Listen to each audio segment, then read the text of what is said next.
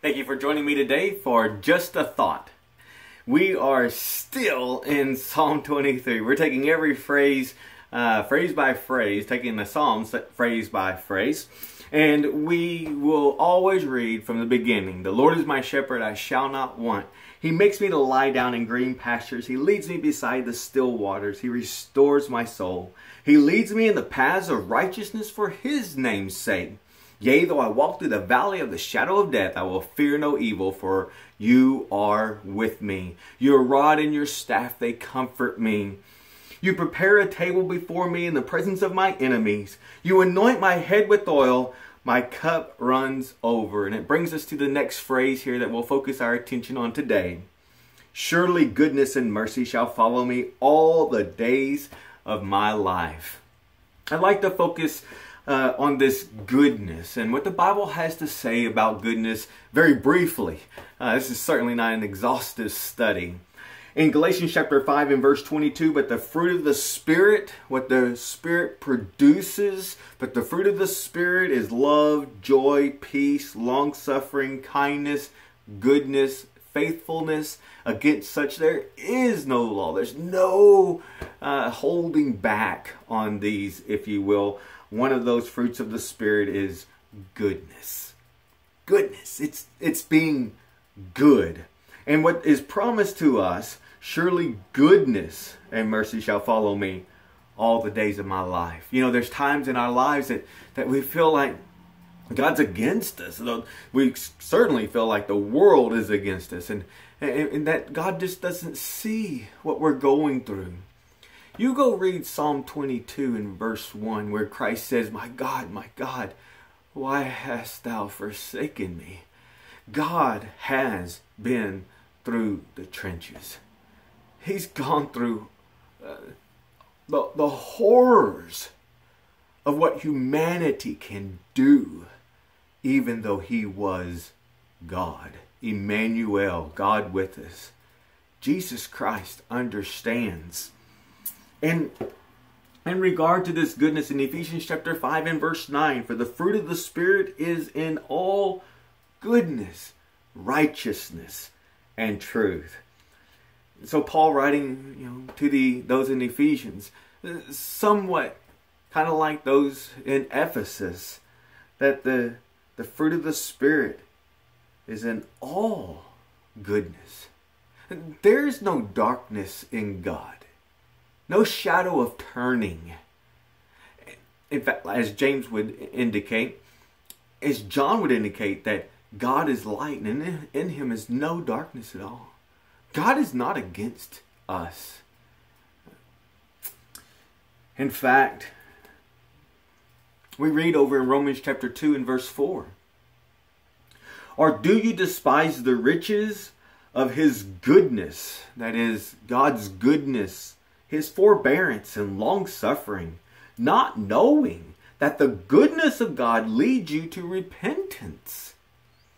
We may suffer the consequences of our actions, but that is only to reinforce even further that we need God. We, we need to choose a better path, and it's not our own. It is the path of righteousness which God has laid out. To follow in his son's footsteps and so on. And we can be a people who despise the riches and goodness, the long suffering, the forbearance of God. And just in such rebellion against Him, accounting to Him all evil that happens in the world when it's just not true. We see over in Romans chapter 11 and verse 22 Therefore, consider the goodness and severity of God. Now, God will pour his wrath out upon the sons of disobedience one day. Justice will be served, but his heart is still of one that calls us to repentance, to change our ways and to follow him, to submit to him, to be obedient to him.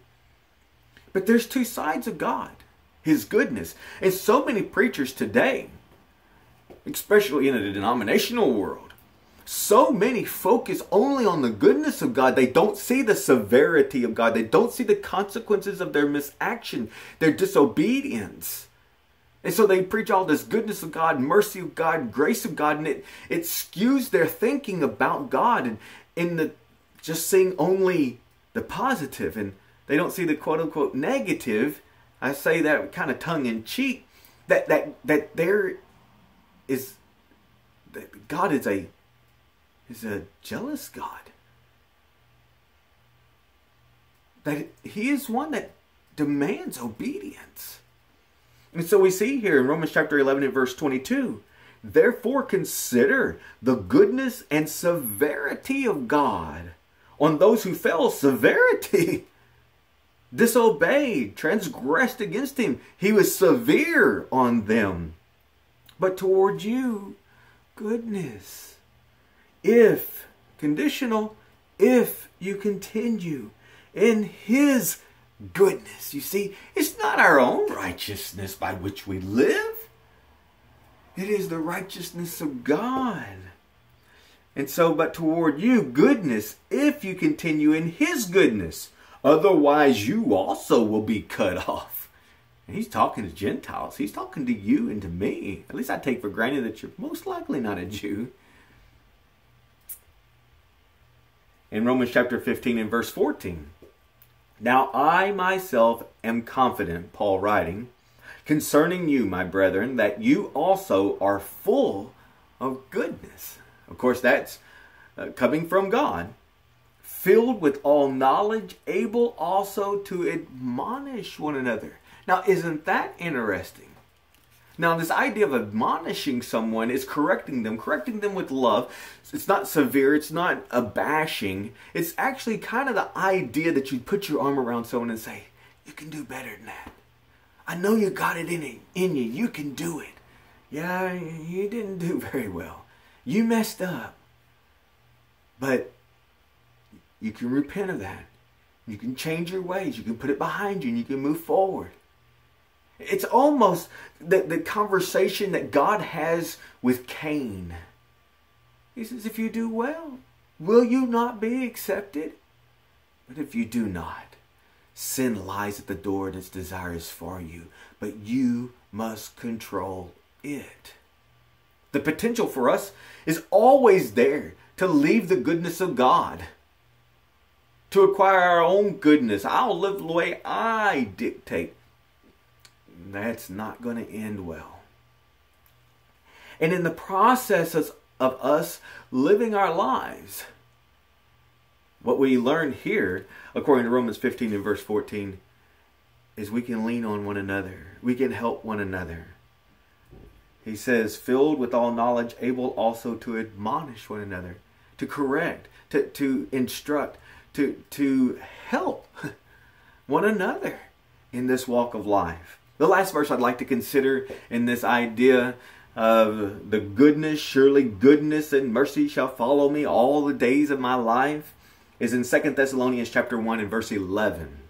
Therefore we also pray always for you that our God would count you worthy of his calling or of this calling and fulfill all the good pleasure of his goodness and the work of faith with power. It's His goodness, it's not our goodness. Surely, goodness, it's God's goodness on our behalf. He, he teaches us how we should live our lives for our own good. The restrictions, the things that we can't do, we should not do, we should not participate in. The lust of the flesh, the lust of the eyes, the pride of life, they're, they're destructive the things that he would initiate or have us to initiate in our lives and, and, and have abundantly, you might say. That, that, that there's no restriction. We can just uh, consume more and more and more of the fruit of the Spirit will enable us to be more like Him day by day, to acquire His goodness. May God bless you to follow in His goodness. And if you do so, it will last you the rest of your life. You gotta love it. Surely goodness and mercy shall follow me all the days of my life. We give God the praise and glory. May He bless you.